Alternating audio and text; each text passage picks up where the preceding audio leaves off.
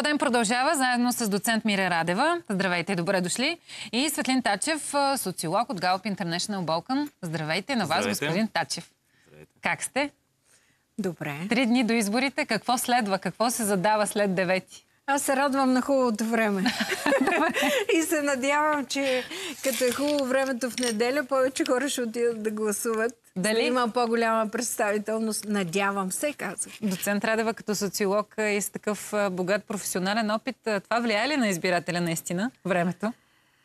Ами, според мен, а, сега какво да кажа, в двете посоки влияе, защото могат да отидат на разходки, могат да отидат за гъби, защото след тия дъждове, след тия дъждове ще има гъби, със сигурност. Но пък от друга страна, като излизат, така да кажем, на градска разходка или на могат да минат и да гласуват. Добре. Много искам да гласуват. Господин Тачев. Има някаква мотивация, когато е по-хубаво времето, защото при, при дъжд, естествено, си си казва по-добре вкъщи. Няма нищо по-хубаво в лошото време. А, така че със сигурност ще оказва някакво влияние. По принцип, те факторите са ситуационни спрямо всеки избор относно влиянието на това дали един човек би излязъл да гласува или не. Аз лично се надявам все пак, въпреки очакванията за по-ниска избирателна активност, хората да излязат и да упражнят правото на глас. Какви са ви прогнозите за избирателната активност, извън оптимизма, който и тримата носим в момента в този разговор и с усмивка говорим за това наистина хората да отидат и да, да, да дадат своя глас. Ре, реално обаче, ако гледаме на картината? По-скоро е тревожно, защото това си говорихме и с колегата преди да влезем в студиото, за съжаление, учебникарски грешки през цялото време. И основната грешка не е просто на тази кампания, но и на последните три години, че някакси нови партии, които уж те първа ще се конституират, те говорят на езика на твърдите си избиратели, вследствие на което се свиват още повече.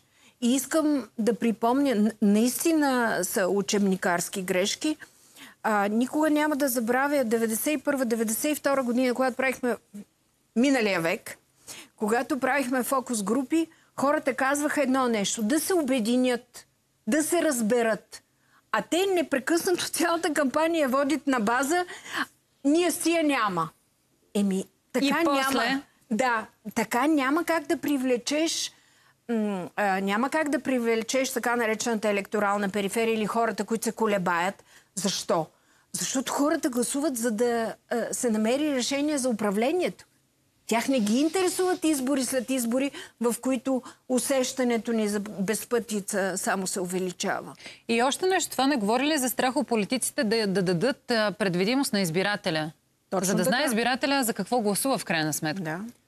Самата предизборна кампания е изключително вяла, насочена изцяло към твърдите си ядра като че ли не се търси поглед към периферията, която в голяма степен е вероятно разочарована, което показва, че и самите политически формации като че ли очакват, че може би голяма част от тях няма да гласуват.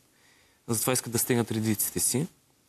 А, този негативен елемент, който а, се появи, също не успя да повдигне а, публичен интерес. До степен, в която може да се случи преди няколко години – което аз го отдавам на политическата криза, в която се намираме. Това са няколко години вече в спирала от избори, която изхъбява и политическите формации, защото те някакво ново да предложат. Когато има избори през няколко месеца или през година, те няма какво ново. Особено ако са управлявали пък и заедно. Затова го обръщат в негативна кампания за това кой как, какво, какво биха направили след това.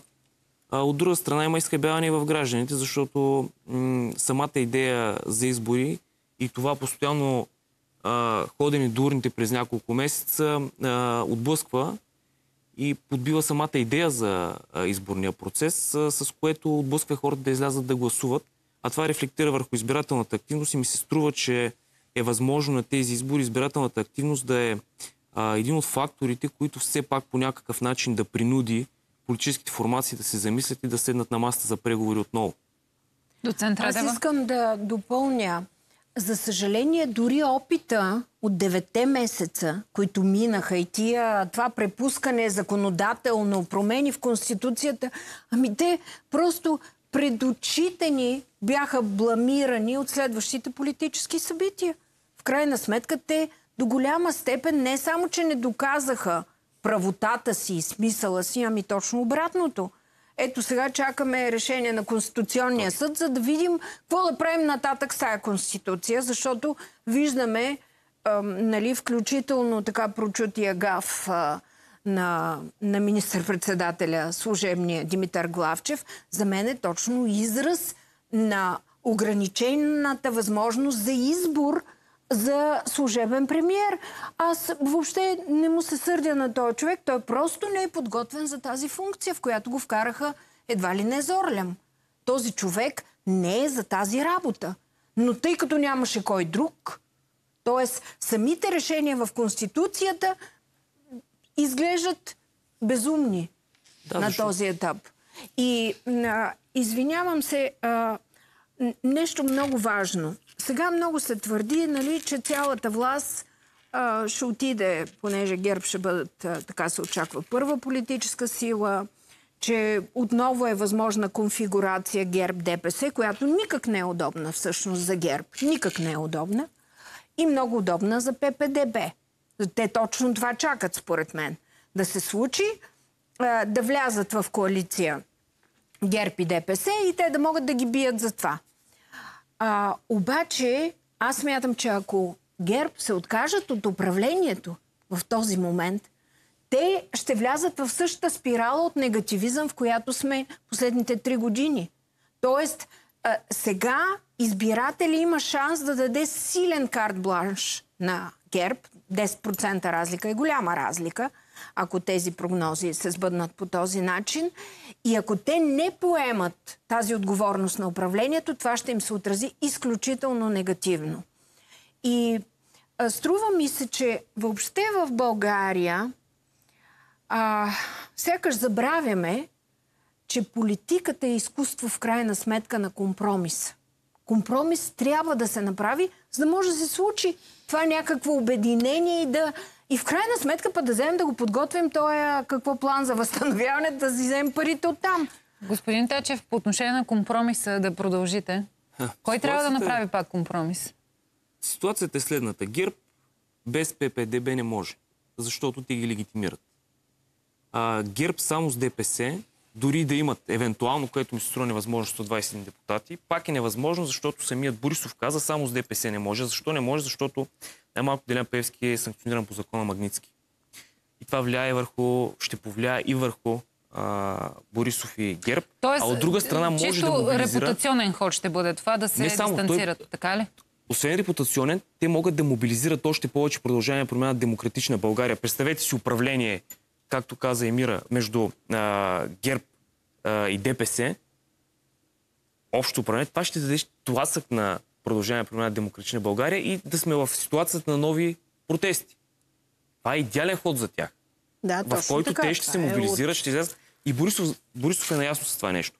Затова им трябва продължение на промяна на демократична България. В случая смисъл обаче... ще ги търсят ли? Или ще търсят някоя друга формация? Със сигурност и това се вижда от а, самите послания на ГЕРБ а, за стабилност, за това, че трябва да си подадат ръце, това, което си говорихме и в а, И че са много меки в сравнение с Да, докато от другата страна ППДБ, които са в позиция, в не особено изгодна позиция, те не могат да променят този стил на говорене.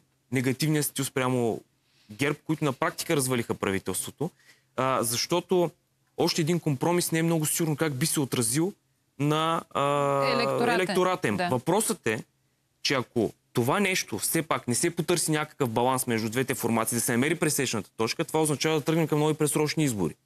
А това вече ще е катастрофално а, в, общ план.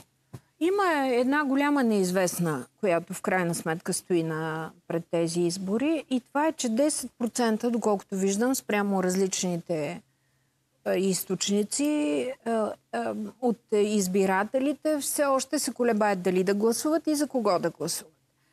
И в тези 10% има потенциал за по-големите формации, но има доста голям потенциал и за онези, които са на ръба.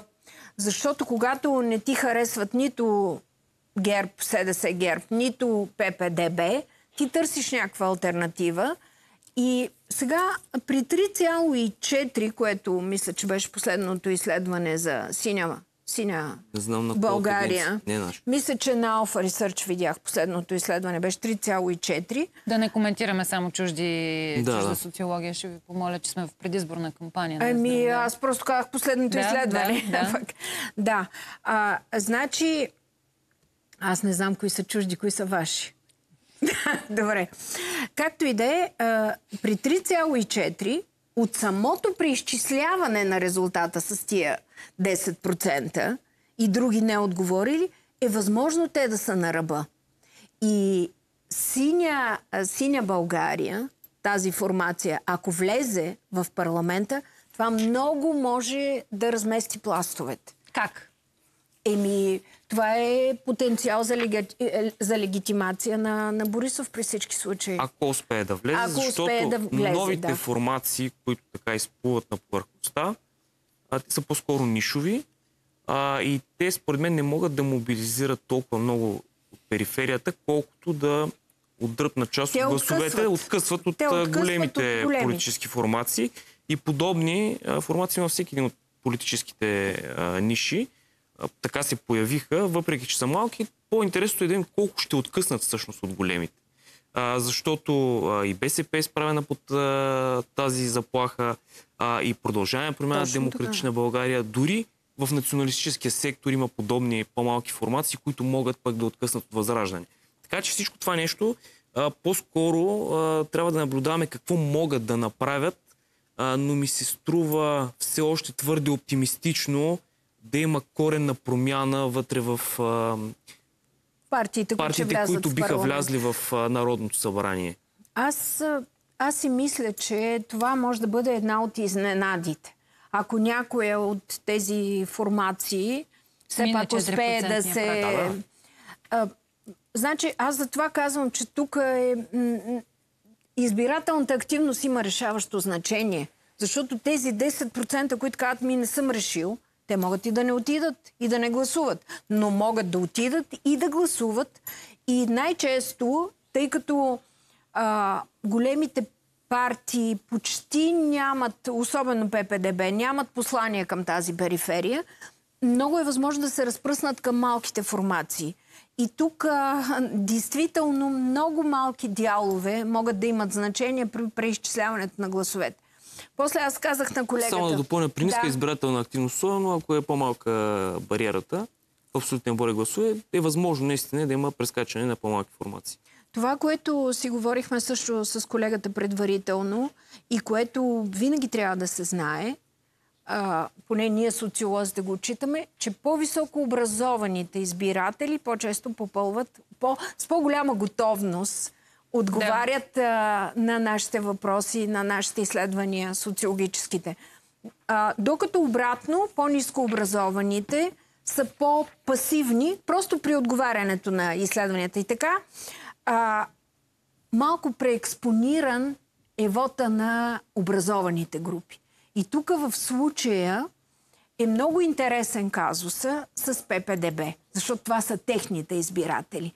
Да не се окажат леко надценени и това движение, тази конкуренция с синя България, на къде ще наклони везните. Ще бъде интересно. Финални думи, господин Тачев.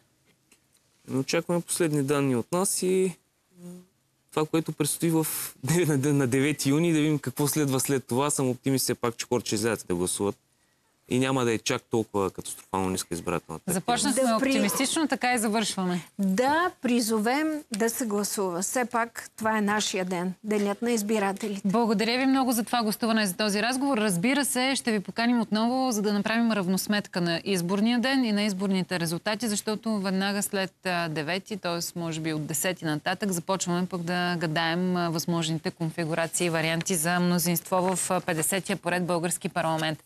Сега, сменям ви на живо с следващия ни гост, защото нямаме реклама сега тук. А, първо да ви благодаря още веднъж. Благодаря. До скоро и а, сили, защото и вас ви чака много работа. Драго ми е да ви видя. Добре сте ни дошли. Заповядайте тук. А, Васил Данов, член на управителния съвет на Съюза на офицерите в резерва. Преди да стартираме обаче разговора Не е с... точно. А, На Атлантическия съвет. А, така. Съм Това е доста... Атлантически съвет на България. Бях преди в а, Съюз Атлантик, но сега не съм, запазвайки добрите чувства и отношения с колегите. Благодаря ви за корекцията. Преди да стартираме разговора и да кажем на нашите зрители темата на нашия разговор, а, един предизборен каш, както а, повеляват правилата по време на официалната предизборна кампания.